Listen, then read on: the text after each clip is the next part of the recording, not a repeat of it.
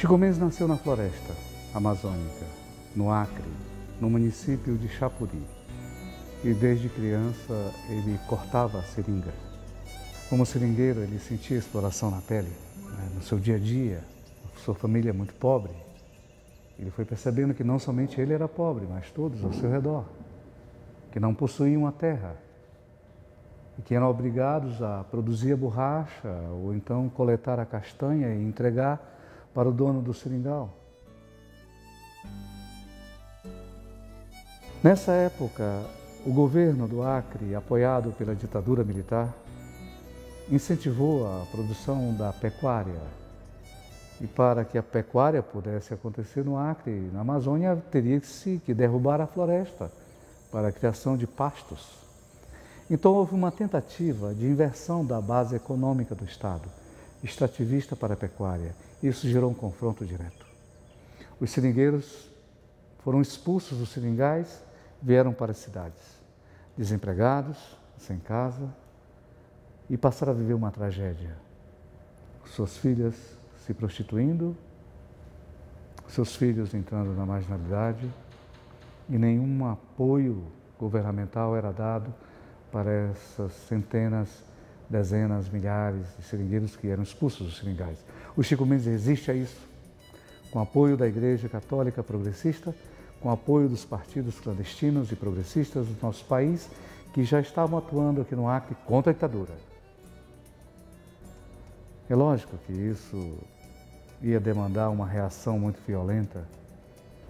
No dia 22 de dezembro de 1988, Chico Mendes é assassinado covardemente em sua casa.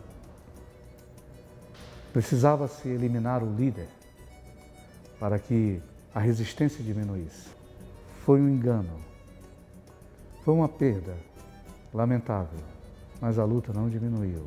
Pelo contrário, a luta cresceu. E após o seu assassinato, é claro que sentimos muito, choramos, lamentamos, mas a luta também cresceu. O legado do Chico Mendes foi a sua coragem, a sua determinação e o acreditar na possibilidade de um futuro diferente na Amazônia. Hoje, o nosso Estado ele é uma referência internacional de como aproveitar de forma inteligente os recursos da floresta sem destruir a floresta. Eu converso sempre com os filhos do Chico Mendes, que são meus amigos. E sempre faço uma pergunta para eles.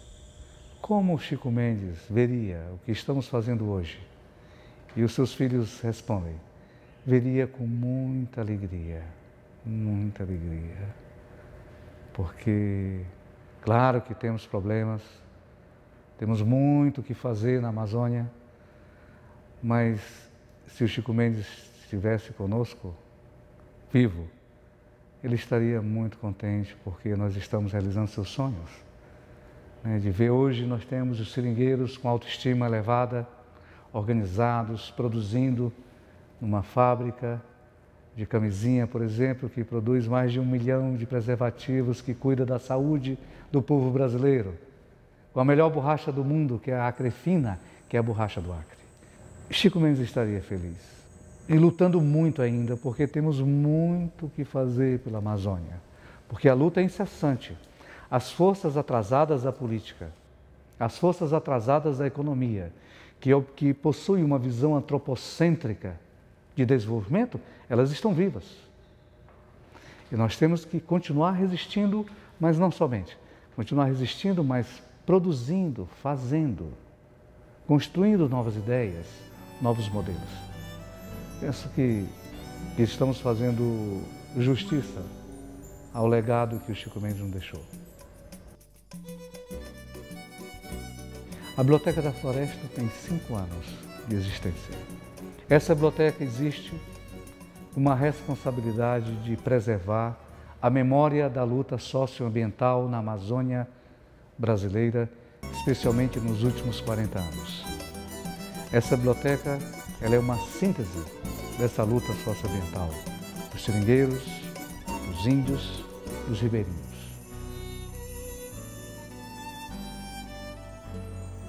Eu fico muito feliz quando as crianças visitam esta biblioteca, porque um grande estudioso da história da infância, Neil Postman, ele tem uma frase que para mim é uma síntese da sustentabilidade ética. As crianças são mensagens vivas que mandamos para um tempo que não veremos.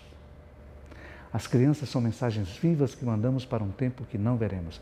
Esta biblioteca, quando ela recebe as crianças, quando ela recebe os jovens, ela está mandando mensagens.